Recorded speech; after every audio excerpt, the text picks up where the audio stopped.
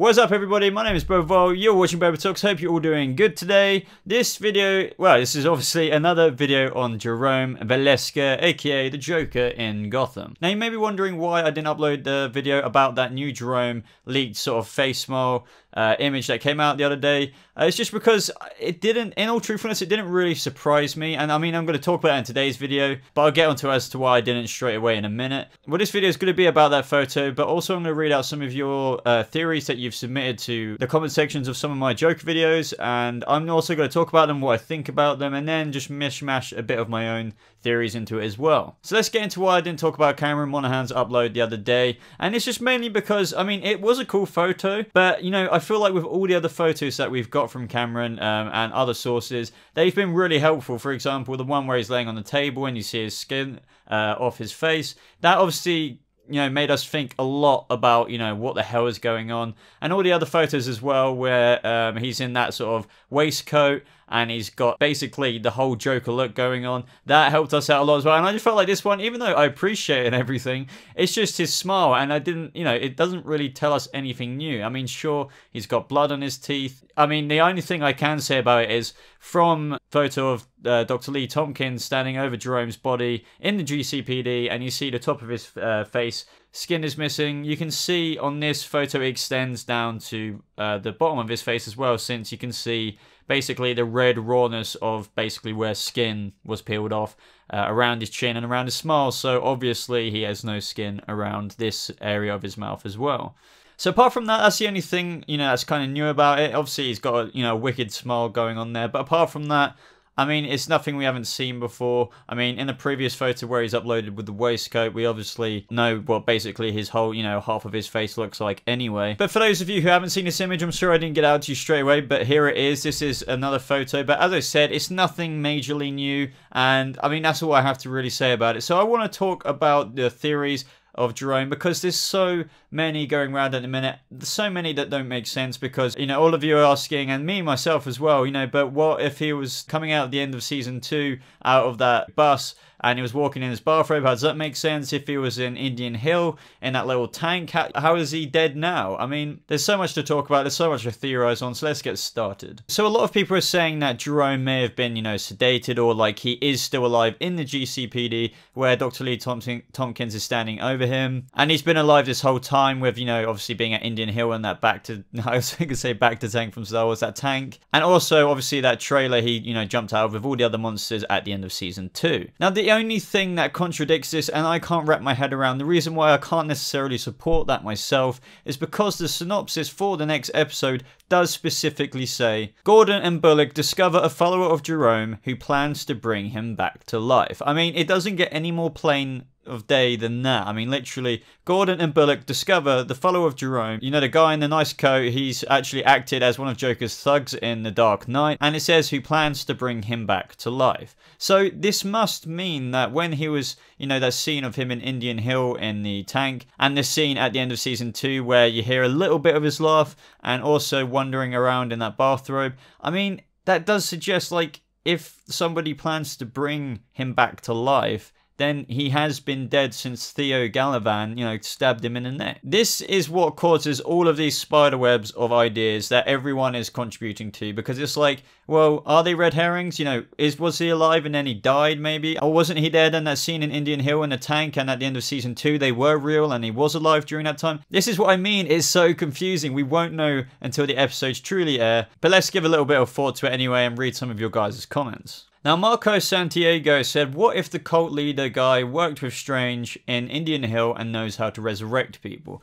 Well, this could be a very good possibility. I've heard this comment quite a few times, and I think it's a really strong idea. If this cult leader, I mean, which it does say in the synopsis, who plans to bring Jerome back to life, I mean, who else would know how to do that apart from people at Indian Hill? Sure enough, Hugo Strange was like the guy behind, you know, all of that, you know, actually going on, reviving Fish Mooney, so on and so forth. But he must have had help, you know, like from Miss Peabody and other members of staff. We, we saw some of them, you know, in their little sort of hazmat kind of suits, sorting out the sort of inmates there, or the dead people who they bring him back to life. So he could truly be one of those people when Indian Hill went, you know, were disastrous. So if there is any way that this cult leader is bringing Jerome back to life, if he is is dead, which, I mean, it kind of does say in the synopsis that, you know, he plans on bringing Jerome back to life, then he's got to have been working at Indian Hill before, and he just really worshipped Jerome from when he was alive uh, to the point where he ended up at Indian Hill. So my idea to sort of add on to your idea is, so when Indian Hill went all to shit, basically, I think that this guy did definitely work at Indian Hill, the cult leader,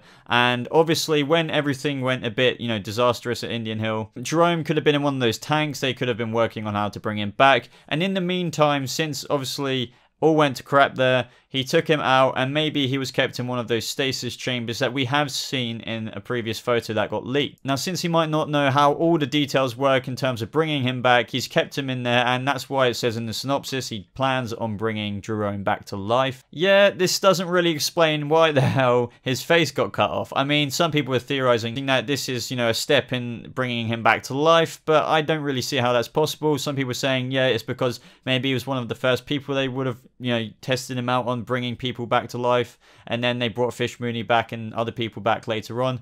Maybe, but like it. That's I don't I just don't think that's good enough. Now I'm reading more comments. Another one from Emma McLean. What if the cult leader worked for Strange and because that he knows how to bring Jerome back to life, also that would be how he got Jerome's body. And you know, the more comments I see like this, I definitely definitely do think that this cult leader had some relation to Indian Hill. He was obviously a fan of Jerome when he was alive, and when he found out, you know, he came to Indian Hill and everything went to shit there, he probably kept him preserved in one of those chambers and has been working on how to revive him and gain a cult following for Jerome for when that finally happened. As to why the face is cut off, I still can't figure that one out. Now, some people are saying that this cult leader cut Jerome's face off himself and he wants to try and beat Jerome, and then Jerome somehow, you know, comes back to life and then kills a guy, you know, the cult leader who took his face from him.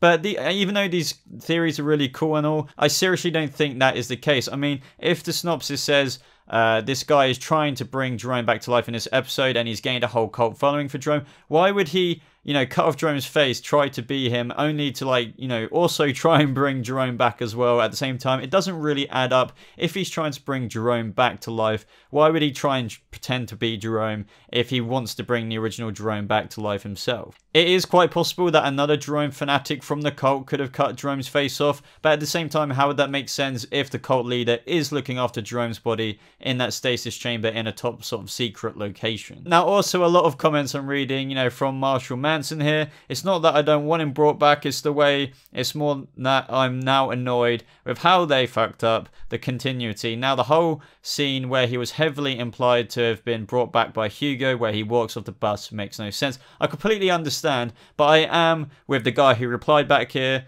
Sorry, or the lady, Lola Joromillo.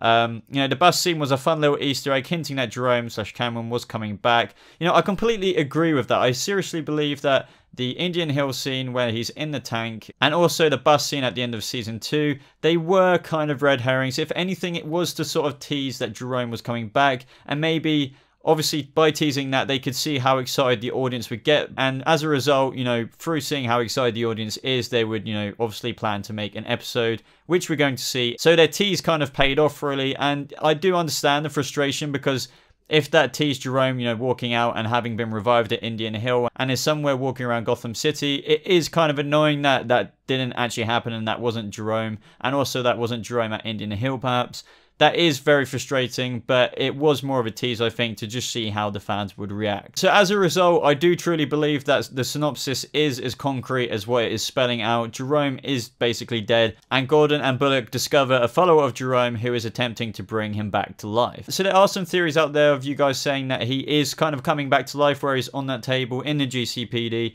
but he's just sort of, you know, uh, still KO'd, so to speak, and the cult, you know, leader doesn't realize that his uh, attempts of bringing Jerome back to life have kind of worked, and that's when he might wake up, you know, get his face back, possibly kidnap Lee.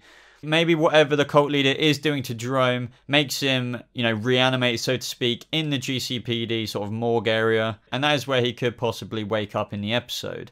Now, there are some of you who disagree with this. For example, I might not be able to pronounce your name, Cut Kutlukin Chelik.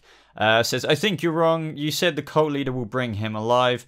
But Hugo Strange already done that. He's just a scumbag who wants Jerome's fans. He's going to steal Jerome's face and put it on himself to enslave Jerome's fans. Then the real Jerome comes and kills the cult leader, then puts his face to himself. Happy ending, basically. Um, I the only reason I don't necessarily agree with that is because you're basically a firm believer that you know at the end of season two where he came out the bus and in Indian Hill he was alive then. That means he's been alive this whole time, and that the cult leader, you know, therefore can't bring him back to life. Therefore, the cult leader has just stole his face and wants to steal his fans. I really don't think that the end of season two and the Indian Hill scene with Jerome in a tank are real. I, I feel like they were honestly just teasers, and so therefore Jerome really is kind of dead in present day until obviously the next couple of episodes happen where he gets brought back to life. But that's all I've got time for in today's video, everyone. What do you think is the real reason as to why Jerome's face is cut off? I think at this point we can safely say that Jerome wasn't alive at the end of Season 2 where that person walked out the bus